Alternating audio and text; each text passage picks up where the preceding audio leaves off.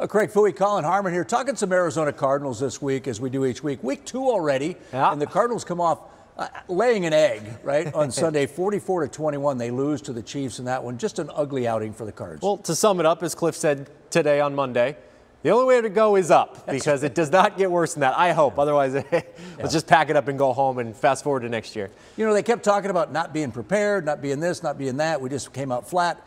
I don't know if this roster is good enough right now. They've got a lot of injured guys, but I don't know if the roster is good enough right now. Here's the deal with the injuries it's the offensive side of the ball that's injury ravaged, suspensions, Yeah. this, that, and the Yes, other. yeah. There were only two starters missing on defense. That's it. so you're telling me J.J. Watt and Antonio Hamilton mean that much to this defense? No way, no how. Fair Not point. buying it. So No, this is an. Vance Joseph problem. This is a Steve Keim problem. Yeah. They don't have the personnel. And granted, it's the Chiefs. They're going to make everybody look bad and Right. you know bring out the worst in that. But I don't foresee it getting better. This isn't going to turn into a good defense this year.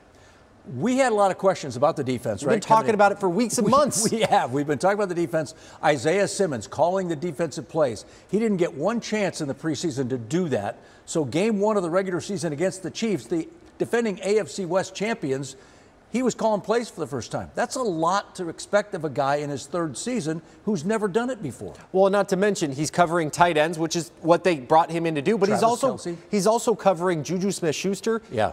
He shouldn't be on wide receivers. So No. they have guys playing out of position off necessity at this Right. point in in week one. I just like again, there were two starters that were out defensively. Yeah. Things aren't just going to drastically get better. And so Byron Murphy playing corner rather than slot corner. He's outside where the best corner they have is out of position because they don't have anybody else there.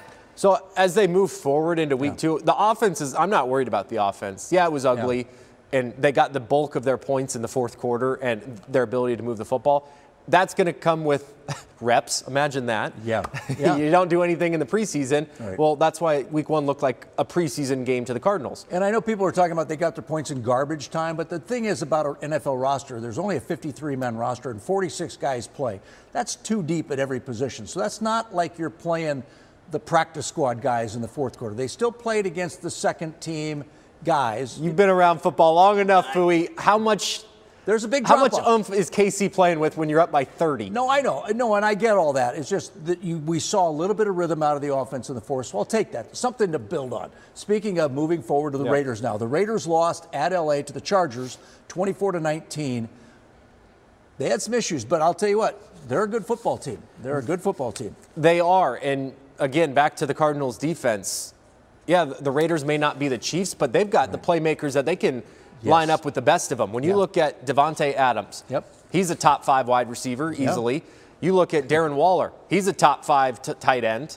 You look at Josh Jacobs, what I saw from the Cardinals' run defense early against the Kansas City team, gaping holes up the Yeah. middle. So Josh Jacobs, the bowling ball that he is, you know, could have a field day. So those problems are still going to exist for the Cardinals that they're going to Oh, yeah. have to deal with on Sunday. Derek Carr threw uh, 37 times, 22 of 37, 295 yards, two touchdowns, but three interceptions. Turnovers are huge in the NFL. Josh Jacobs had a 5.7 yards per carry average, and you talked about Davante Adams, 10 catches, 141 yards, and a touchdown. They're a good football team. Listen, I I know this is what we in the media do, fans do. It's overreaction Monday, especially after week one. It is heightened on steroids. Yes, it is. But again, I, there are so many things with the roster, and we've talked about it. Everybody saw it coming. How Yep. Steve Keim in the front office didn't see it coming when we all did.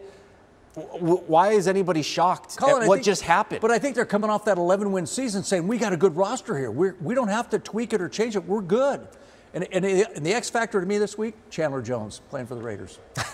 How ironic is that?